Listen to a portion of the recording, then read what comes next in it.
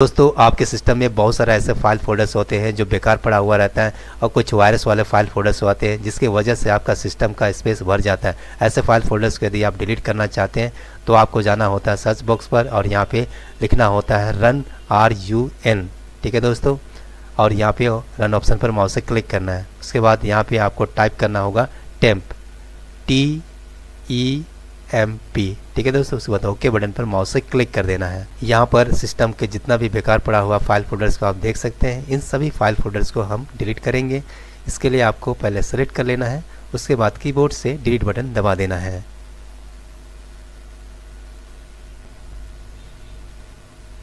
यहाँ से सभी फ़ाइल डिलीट हो गया। उसके बाद क्लोज कर देंगे। उसके बाद फिर से एक बार सर्च बॉक्स पे जाएँगे और यहाँ पर फिर से रन टाइप करेंगे। और यहाँ पे रन ऑप्शन पर माउस से क्लिक करेंगे। यहाँ पहले परसेंटेज टाइप करेंगे टेम्प टाइप करेंगे, फिर परसेंटेज ओके बटन पर क्लिक करेंगे। यहाँ पर वायरस वाले फ़ाइल फोल्डर्स आप देख रहे हैं, इन सभी को भी डिलीट कर देना है।